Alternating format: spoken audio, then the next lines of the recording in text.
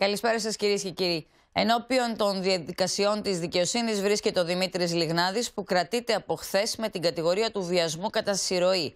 Ενώ διευ... ε, διευρύνεται από αύριο η εισαγγελική έρευνα σε υποθέσεις σεξουαλικής βίας εντός του χώρου του θεάτρου.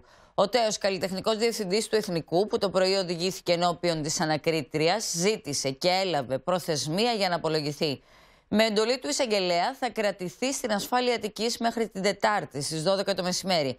Οπότε και θα οδηγηθεί εκ νέου στον ανακριτή για απολογία σχετικά με τις κατηγορίες που τον βαρύνουν.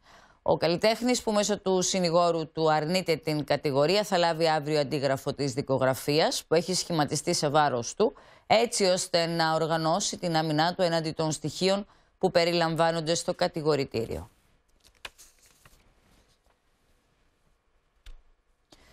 Ο αυξημένος αριθμός κρουσμάτων και η πίεση που δέχονται τις τελευταίες εβδομάδες οι μονάδες συντατική θεραπείας των νοσοκομείων της Αττικής βρίσκονται στο επίκεντρο του Υπουργείου Υγείας. Η κοινή διαπίστωση των αρμόδιων φορέων είναι ότι οι επόμενες 15 ημέρες θα είναι κρίσιμες και ήδη έχει συζητηθεί ο συντονισμός των ενεργειών στο πλαίσιο του επιχειρησιακού σχεδιασμού. Η επιδημιολογική κατάσταση είναι σταθερά ψηλά. Ενώ ήδη βρισκόμαστε στη δέκατη ημέρα του σκληρού lockdown και χθες ο αριθμός των κρουσμάτων ήταν μεγάλος και έφτασε τα 1424. 325 συνανθρωποί μας είναι διασωληνωμένοι. Στην Αθήνα είχαμε χθες 680 κρούσματα και στη Θεσσαλονίκη 155. Πιεζόμαστε στην Αττική στις μονάδες εντατικής θεραπείας. Συνεχώς προσαρμόζουμε το επιχειρησιακό μας σχέδιο και γι' αυτό το λόγο θα ήθελα να συστήσω για μία ακόμη φορά πολύ μεγάλη προσοχή. Δήλωσε το πρωί ο Υπουργός Υγείας Βασίλης Κικίλιας, που επισκέφθηκε το εμβολιαστικό κέντρο στο Γενικό Νοσοκομείο Αθηνών Ιπποκράτιο, όπου πραγματοποιούνται εμβολιασμοί πολιτών που έχασαν το ραντεβού τους εξαιτίας της κακοκαιρίας των προηγούμενων ημερών. Όπως είπε ο κύριος Κικίλιας, οδεύουμε προς τους 700.000 εμβολιασμούς. Εξέφρασε την ικανοποίησή του για τη θετική ανταπόκριση των πολιτών. Για έβδομη μέρα συνεχίζονται οι προσπάθειες για την αποκατάσταση των ζημιών που προκάλεσε η πρόσφατη κακοκαιρία στα βόρεια προάστια. Οι προσπάθειες των συνεργείων εντοπίζονται πλέον στην απομάκρυνση των κλαδιών που βρίσκονται στους δρόμους και εμποδίζουν την κυκλοφορία. Μετά την αποκατάσταση της λειτουργίας του δικτύου μέσης τάση, ολοκληρώθηκαν και οι εργασίες των συνεργείων στο δίκτυο χαμηλής τάση. Στις περιοχές Άγιος Στέφανος, Δροσιά, Άνοιξη, Διόνυσος, Εκάλη και Κηφισιά. Αυτό ανακοίνωσε σήμερα ο ΔΕΔΙΕ. Ωστόσο, όπως διευκρίνησε, στις πληγήσεις περιοχές των βορείων προαστίων πραγματοποιούνται σήμερα έκτακτες διακοπές ρεύματος για την αντικατάσταση και πλήρη επιδιόρθωση στοιχείων του δικτύου. Προκειμένου να διασφαλιστεί ότι όλα τα νοικοκυριά θα έχουν ρεύμα, ο ΔΕΔΙΕ καλεί όσους εξακολουθούν να αντιμετωπίζουν προβλήματα να επικοινωνήσουν αμέσως με την εταιρεία.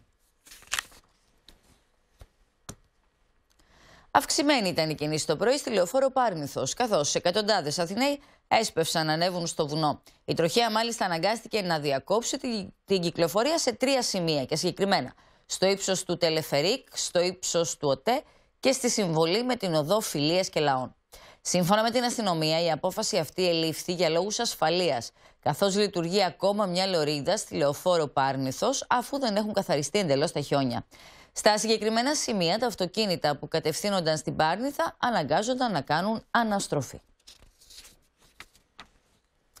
Τις επαιτειακές εκδηλώσεις για τα 108 χρόνια της απελευθέρωσης των Ιωαννίνων από τους Οθωμανούς τίμησε με την παρουσία της η Πρόεδρος της Δημοκρατίας Κατερίνα Σακελαροπούλου. Σε δηλώσεις της έστειλε μήνυμα ομοψυχίας και διαφύλαξης της ελευθερίας που χάρισαν στη χώρα μας οι ηρωικά πεσόντες τους απελευθερωτικούς αγώνες.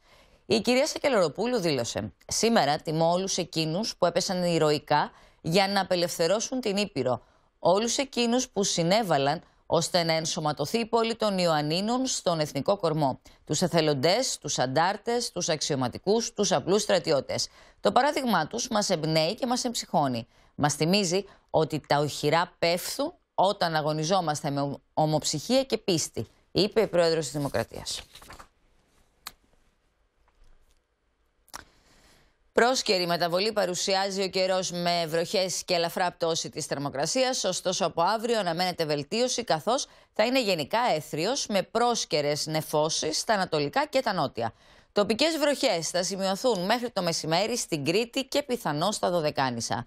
Η ορατότητα στα δυτικά, κεντρικά και βόρεια υπηρετικά τις πρωινές και βραδινές ώρες θα είναι κατά τόπους περιορισμένη. Οι άνεμοι θα πνέουν στα δυτικά και τα βόρεια μεταβλητή 3 με 4 μποφόρ. Στις υπόλοιπες περιοχές από βόρειες διευθύνσεις 4 με 5 και τοπικά στο Αιγαίο έως 6 μποφόρ.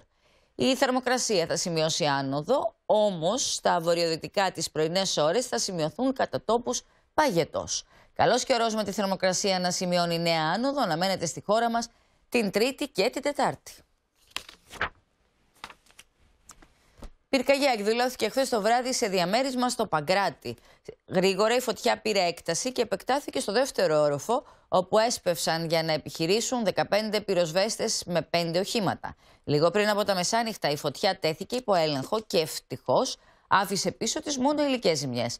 Δεν υπήρξαν τραυματίες καθώς ο ιδιοκτήτης έλειπε. Λαχτάρισαν όμως οι ένοικοι στο ακριβώς από πάνω διαμέρισμα οι οποίοι έτρεξαν στην ταράτσα. Λόγω των καπνών δεν μπορούσαν να κατέβουν στον δρόμο και η πυροσβεστική τους απεγκλώβησε από την πίσω πολυκατοικία.